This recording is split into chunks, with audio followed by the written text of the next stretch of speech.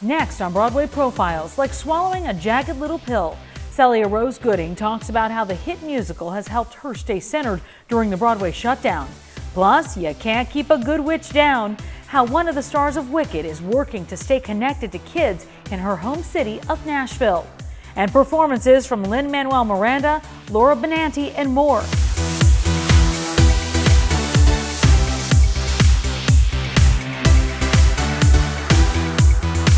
I'm Tamsen Fadal, and this is Broadway Profiles, presented by Broadway.com. Welcome to Broadway Profiles. I'm your host, Tamsen Fadal. Well, right now we really should be celebrating the Tony Awards. Instead, we're keeping our fingers crossed, hoping for an end to the COVID 19 pandemic and also an end to the shutdown. But we are finally starting to get a more clear picture of what Broadway looks like going forward. Best case scenario, Broadway won't reopen till Labor Day. We know some shows will not come back at all. Frozen, Beetlejuice, they've officially closed. Others, like MJ, the Michael Jackson musical, have pushed back their openings till 2021. As for the Tonys, that ceremony is pushed back till who knows when, but there are great tributes to Broadway's biggest night, like Broadway.com Show of Shows, a celebration of the Tonys that you can see on the Broadway.com website or YouTube channel starting June 7th. But really, here's the bottom line. By far, this is the longest our theaters have ever been closed, three months and counting. Which is why, once again, our show is recorded entirely from our homes, from my home, from the homes of Broadway stars, musicians, and composers. And we've got some great interviews and performances for you, so sit back and enjoy. We're kicking things off with Celia Rose Gooding. She's a second generation Broadway star. She's the daughter of a Tony winner, and she's also the current star of Jagged Little Pill. Now she's taking the lessons she's learned from the musical and applying them to life in this new norm. Let's talk about where you were when this all when this all happened because you really were in the prime of a huge, huge show on Broadway that we can't wait to see reopen. Talk a little bit about it and and, uh, and how you were after you got the news. I was actually sitting on my staircase just watching the news and realizing that like today is going to be a life-changing day i realized that jagged little pill actually has really prepared me for this kind of moment. Um, it's taught me a lot about how to handle traumatic situations and situations that are completely wildly out of my control and i think the moment it, it, clicked the moment where i was like oh jagged little pill. This is the jagged little pill that i'm swallowing right now. So i have to i i have to for the sake of the story that i tell take a step back and say what can i do? I'm living and i'm learning. I'm loving and i'm learning. I'm crying and i'm learning. But i think thank goodness for the show that i have and the lessons that i've learned so far and understanding the fact that i'm coming back. I am your mom and you went through so much before this. You still just have this spirit, a spirit of um, of coming through and getting on the other side that people you know respect and look up to and and and, and feel. Thank you. My mother, I speak. I, I I don't know how she does what she does, um, and I think the best option for me is to just look at her and see her and learn from her all that she is able to do, especially in the idea of resilience. She, my mother lost her husband with a kid in a crib and a baby in, in her, like she was pregnant when we lost my dad. And that would have been a perfect opportunity for my mother to give up and no one would have chastised her for it no one would have no one would have blamed her and said oh you can't do this but the fact that she's able to get up every day and raise two kids i can't give up because she because she did it. So who am i to say that i'm not capable of something and i'm not capable of resilience and perseverance when my mother thinks i am? So if she says that i'm able to keep going and push forward then i absolutely am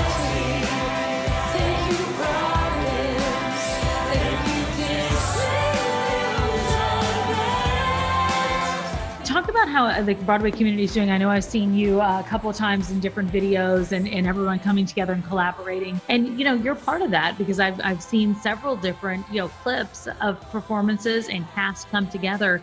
Did you have any in particular that you enjoyed doing? Because there were a few collaborations you've done, right? Um, I liked the, um, the, the You Learn video that Jagged Little Pill did for Earth Day swallow it down. What a jagged little pill. It feels so good. Swimming in your stomach. The last time something like this has happened was 9 11. And right after that, we had the video of all of those incredible Broadway stars singing and coming together as a community. And I think theater has always been a place for people to go where they feel like they have nothing or to go when they feel like they need to be uplifted or going when the times get scary and they need someone to lean on and they need it and they need to be uplifted. And i think the fact that as a community we've been able to do that with our technology is super important. If i wasn't going to be doing the show eight times a week i'm very glad i'm doing this. Wicked is one of broadway's longest running musicals and no doubt about it one of our shows guaranteed to reopen as soon as broadway does. I've heard it said that people come into our lives for a reason. The current stars of Wicked lent their voices to a music video thanking our first responders and our frontline workers.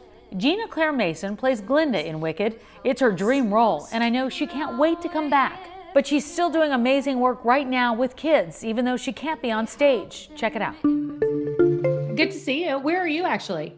I'm in South Orange, New Jersey. Oh, very nice. How is it there?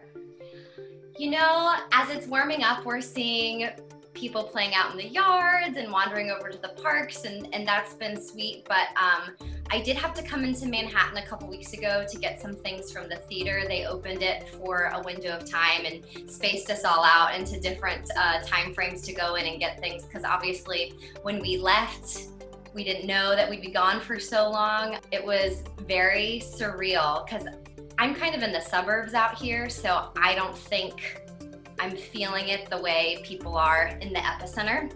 And going into this into the city and seeing for myself, you know, all the storefronts closed down and then going into the theater and seeing that all dark, it was it was very surreal. All right, so well, so let's talk a little bit about it. How are you spending your uh, quarantine time?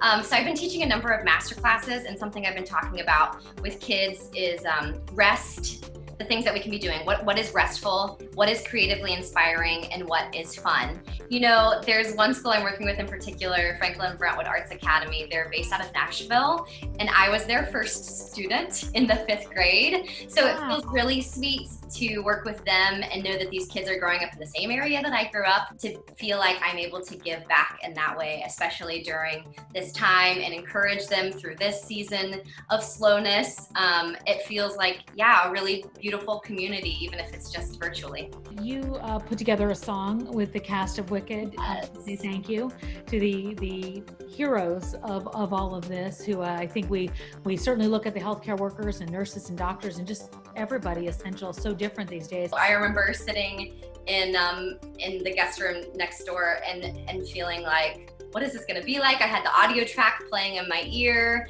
And so I recorded mine first. They sent my take to Lindsay, who's on the West Coast right now.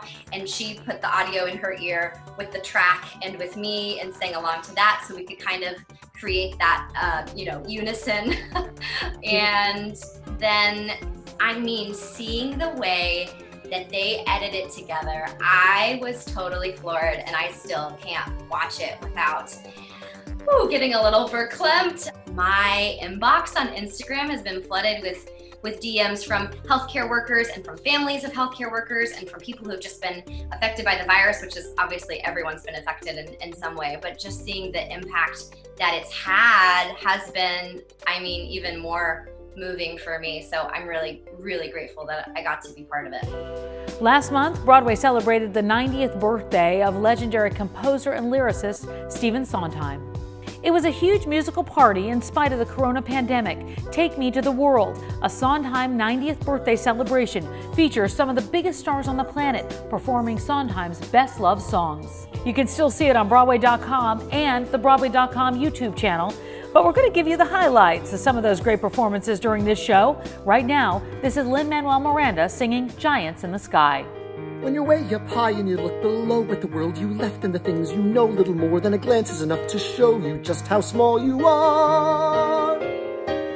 When you wake up high and you're on your own in a world like none that you've ever known, where the sky is lead and the earth is stone, you're free to do whatever pleases you. Exploring things you never dare, cause you don't care when suddenly there's a big, tall, terrible giant at the door. Again, you can watch the whole show on Broadway.com and also their YouTube channel, but we've still got a lot more to talk about on this edition of Broadway Profiles. Up next, I'm going to talk with N'Kenge about music, parenting during a pandemic, and the upcoming Broadway revival, Caroline or Change. I'm Tamsen Fadal, and this is Broadway Profiles.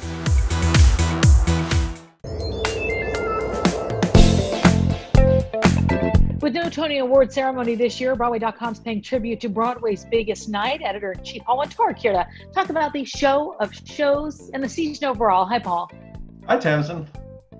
Good to see you. So let's talk about what's going on because this is a this is a year unlike any other we've seen. That's for sure. We created a our own Tony special. It's called Show of Shows. Broadway.com salutes the Tonys, and we're really looking at the people have a real emotional connection to the Tony Awards, fans, and they look forward to the first Sunday in June every year because they can sort of have this, watch this amazing television show with all their favorite people and feel like they're part of this, you know, this community that we're a part of.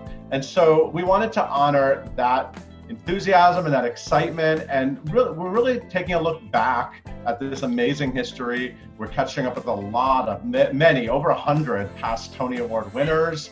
We're doing a lot of amazing reunion performances from some iconic Broadway casts, bringing them back together to recreate their Tony performances.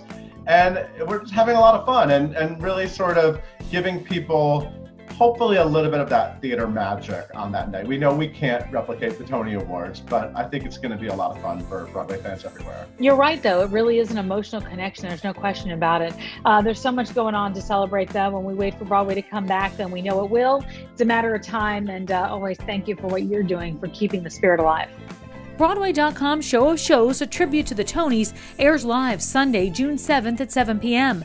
You can also watch it anytime after on Broadway.com or their YouTube channel. The revival of Caroline or Change was supposed to play its first preview March 13th. Broadway shut down the day before. But the good news is that show is now committed to come back at Studio 54. The musical will also mark the Broadway return of N'Kenge. She plays the moon. When we got the news, um, it was it was heartbreaking to say the least because we were one day before our very first public performance, our first preview. And, um, you know, we have kids in the show too. So there were a lot of emotions going on. You know, I was being emotional as an artist, but then also sort of having like mommy instincts and wanting to, wanting to, you know, ease the pain of, you know, some of the creative team and the kids. And, and we all knew that we had to do this though. Well, so how have you been doing through all this?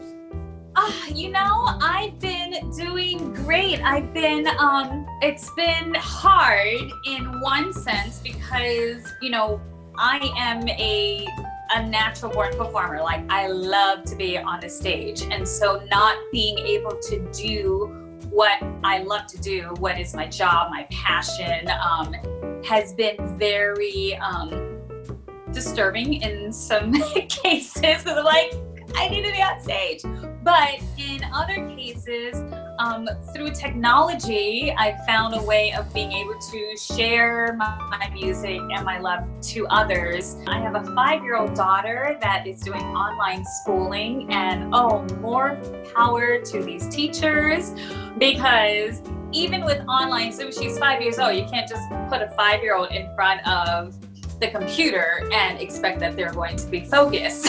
you know, no, so no. everything, yeah, so you have to supervise, you have to be sitting next to your child while they're going through these classes and making sure they're paying attention. It's a full time job in addition to just kind of rolling out master classes that I'm doing, and I'm going to start doing some story time with lots of moms and dads that are out there just looking for new activities to have for their kids. You've been performing. I've seen a few of them. We've been performing obviously on Zoom. Uh, any favorites that you've had so far? One of the first roles that I got a chance to originate was Mary Wells in Motown. So that was just all belt, belt, belt, belt. Just like sing for the guides, you know, throw the head back and just open up those lungs. I love it. I love to do, you know, I love to do my guy, you know, which is like nothing you can say could tear me away from my guy.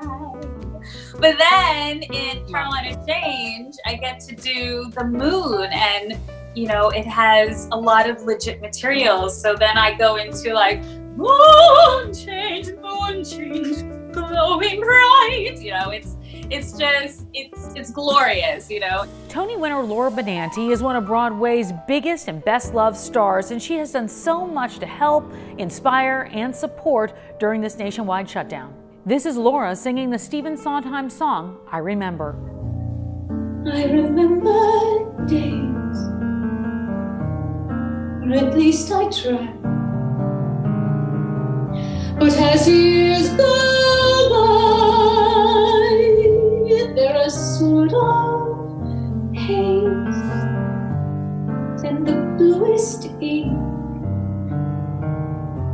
isn't really sky. And again, you can still watch Take Me to the World on Broadway.com and also their YouTube channel. But there's still a whole lot more to come on this edition of Broadway Profiles. I'll talk to Pulitzer Prize winning composer Tom Kitt about the three shows he has on hold right now. I'm Tamsen Fadal, and this is Broadway Profiles.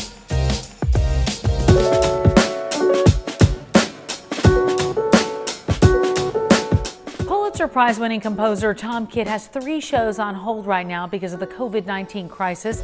We had a chance to chat about how he's coping with the shutdown. You have three productions on hold right now.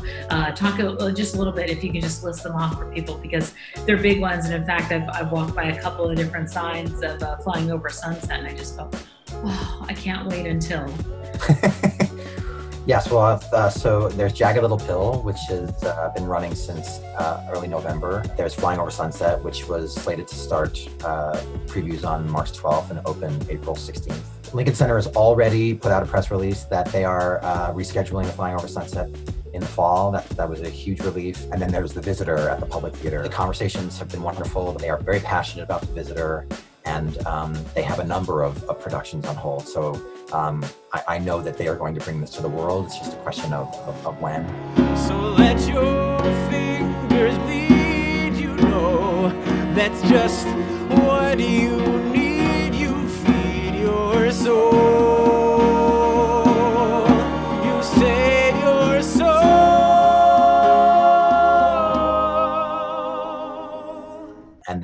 Jagged, uh, Jagged Little Pill, um, you know, I think is in the same holding pattern that all the Broadway shows are, are in. And so hopefully, uh, like all shows, we'll, we'll be able to weather this and, and, and come back. And I think that the um, anthemic nature of Alanis Morissette's voice, that there's going to be people who are going to want to um, experience that and, and feel the catharsis of Alanis Morissette. So I feel confident that Jagged Little Pill will also come roaring back. Do you remember where you were with every one of those songs growing up, and what what moments those hit you, and when you when you needed them?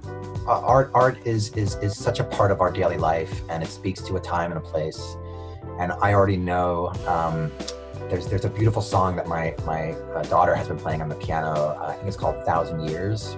Um, and uh, she plays it every day. And I just know that I'm always going to think of that beautiful song um, when I have all the, the, the mix of, of, of, feelings about um, about what we're what we're going through.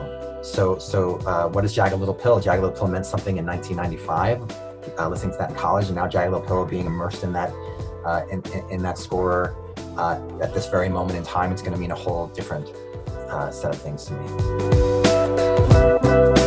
I'm Tamsen Fadal, and you're watching Broadway Profiles.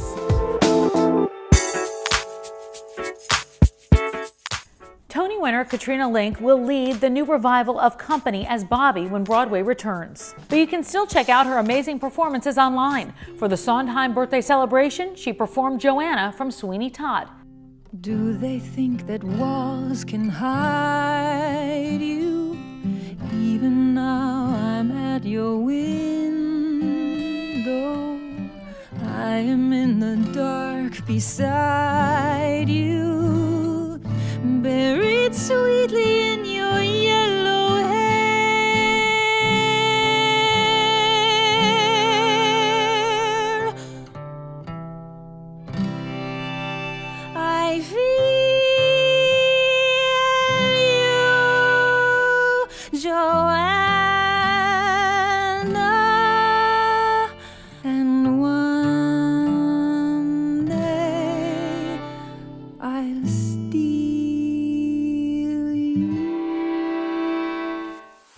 And that's going to do it for us. Until next time, stay safe and stay healthy. I'm Tamsen Fadal, and you're watching Broadway Profiles.